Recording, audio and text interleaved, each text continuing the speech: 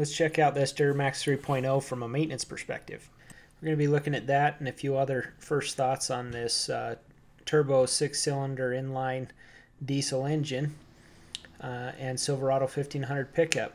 Popping the hood, one of the first things I noticed was uh, the battery's kind of buried. Uh, it does have easy access for jump starting, just a single battery. Uh, but under this cover plate, uh, there's kind of a lot going on. Uh, but it gets simple as you look at it. There's kind of a 12 volt bus bar that supplies voltage to several circuits, and uh, it's better that's on top of the battery than under the battery for acidic corrosion and that kind of thing. Um, but as you see, there's a lot there, but it gets it gets simpler. Um, this here's the glow plug controller. So if I were going to try to take the battery out, I imagine you'd take out these bolts, um, and then that bracket and controller should peel out of the way and then you still got this thing stuck on there, so I think you'd want to pull off uh, that bolt for that bus bar plate and then the uh, battery positive terminal. And then there's uh, some tabs here, and once you got those peeled back, it should just kind of bend out of the way and let you have access to the battery. Here's the main engine compartment fuse block where most of the fuses and relays and stuff are at. There's also some aux uh, an auxiliary fuse block over on the driver's side. Um, they're all easy to get at. Uh, there's just quite a few of them, so you'd want to use your owner's manual to see uh, where you're going to go hunting and looking. So this one's on the driver's side, instrument panel. Got some spare fuses there. Another one over on the passenger side.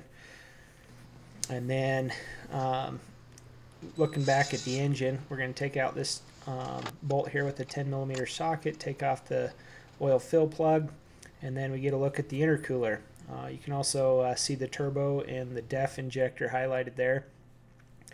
Um, all the exhaust routes out the exhaust manifold and goes through the turbo. Um, and that expanding flowing air spins a turbine wheel and then uh, that exhaust then departs and travels on down the exhaust system through the various catalytic converters and whatnot for emissions. On the other side, you got cool air coming in through the air box and being charged from uh, the other side of the turbo on the compressor wheel, and that charge is varied through um, modular or movable vanes on an actuator that varies the charge. Um, that air is then directed through the intercooler to be cooled and made more dense and, and whatnot, and then it goes to the intake manifold, which also has variable ports. Uh, the intercooler has its own surge or overflow tank, um, independent of the engine one, but they do share the same radiator. Uh, here's the air intake uh, to the air box, goes into the bottom of the air box where it's then filtered and sent on down the ductwork to the uh, charge side of the of the turbo. I'm going to show you what it's like to service the air filter on this. There's three screws, 5 16 driver is my preferred method over a screwdriver. And then uh, you peel that up, gives you plenty of space to, to get in there and take the filter in and out. So I was happy with how easy the air filter was to do.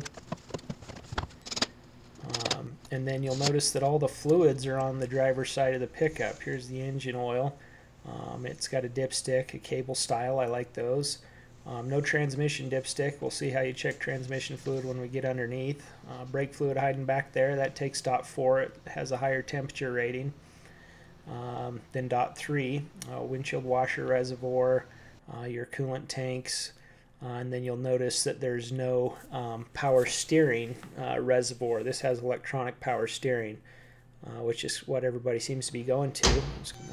you know, one less thing that can leak, I guess. looking underneath of it, uh, the oil filter and drain plug are easy to get at.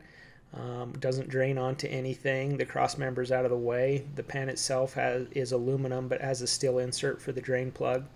This 10L80 10-speed transmission is really long. Um, I do like how the uh, all the bolts are accessible to access the transmission filter without any cross members or exhaust in the way. There's where you're going to check it and fill it. it takes De Dextron Ultra low viscosity fluid. Uh, you can take that out with an 8 millimeter hex bit and tighten it back up. It looks like a real treat to get fluid in and out of there. I'd probably be using some kind of bucket pump to pump fluid in. The transfer case uh, takes the same tool, an 8 millimeter hex, and you're looking at 1.6 quarts of Dex 6 for that. The rear uh, differential. Uh, there's some variations there. You can look in the specs, but you got to take off the rear pan to dump it, and then the 3 8 ratchet will give you access to fill it up again. Taking off this front plastic um, skid plate as well as the aluminum one. Uh, that lets us get a look at the front differential. Um, that's not going to be serviced by pulling off the pan unless you take out the front differential. I'd be using a topsider or some kind of suction pump to pull the fluid out of there just because I like easy. Here's electronic power steering rack uh, there by the front differential, giving you a look at this drive shaft that looks different than they used to. Uh, for the transfer case up to the front differential, it now has an axle instead of U-joints like they've had in the past. Uh, the, the, the rear drive shaft's still the same.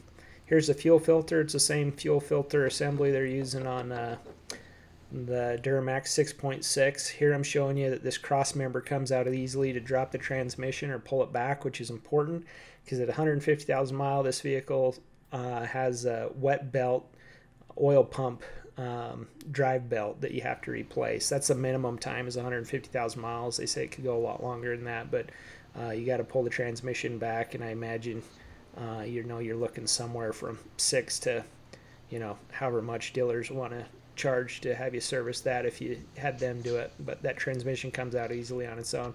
Here i'm showing you all the suspension components. They're all easy to get at. Sway bar links um, tie rod ends control arms ball joints uh, they're all easy to do. Here's a look at the brake wear indicator on the driver side. Here's a look at the rear exhaust. It's not a true dual exhaust on a straight six with a single exhaust manifold so they come together on the front side of the spare tire.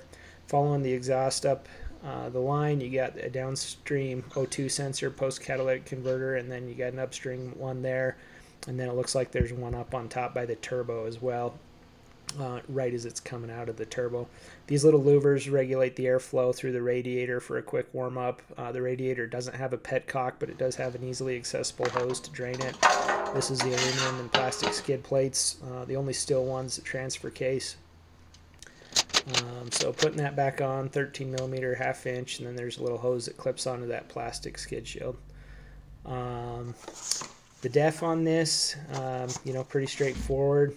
Uh, takes 5.3 gallons uh, to fill it. This one was pretty low. Only had about one chiclet or one bar left on the indicator, and uh, so I put in a tank there, a couple of gallons, and now it's over half half full there. Um, now I'm just kind of playing with the truck a little bit. Um, I like the interface on Chevys. Um, here's the, the cluster doing its gauge sweep and self-test. Um, before starting, the glow plugs hardly run at all, um, even in really cold. It was about 25 degrees a day. I shot that picture. The passing gear isn't super great as far as speed in the turbo uh, but does have a really good low end off the line uh, pep in my opinion. I like this rear backup camera while you're driving to look at your trailer or who's tailgating you. Um, I like the Sirius XM interface here. I like that the temperature controls and other controls pop up on the main display as you work them. Um, I just like Chevy's interface. I've always had. They uh, I like how it, as a driver, you you get to interact with the vehicle. It's really simple and intuitive the 120 volt charger you got to manually toggle on and off. Then with the automatic start stop feature, I was curious how heavy duty the starter was and uh, how hard it would be to get at uh, for replacing. I looked all over underneath this thing on both sides of the engine back by the transmission and couldn't find it, which leads me to guess that it's front mounted. Um, so I'm kind of looking at what we got on the front of the engine here, and uh, this is the one I'm guessing. So if you know, feel free to comment below. And then just checking out the noise level. These diesels, you know, are super quiet, and this one's no exception. Um, I'll compare it here to my 2011 Silverado here in a second. So here's the 5.3 and you know almost exact same noise other than I think the diesel sounds cooler. At the tailpipe it's really quiet. It's really quiet with the door open, even quieter with the door closed. The 5.3 was quieter in park at idle, um, but the Duramax was quieter at road speed, even than my Toyota Camry seen here. Um, another cool thing about this is I never got less than 20 miles a gallon playing around in it, stomping on it. Um, really great mileage, and with the turbo, you get a nice flat torque curve through a broad range of RPM. Starts really low up through the higher RPMs, you get almost peak torque, so good pulling power throughout. Uh, really impressed with this pickup, how it drives, love the mileage. I think it's a great all around truck. Hope you found this useful and that you like and subscribe. Thanks for watching.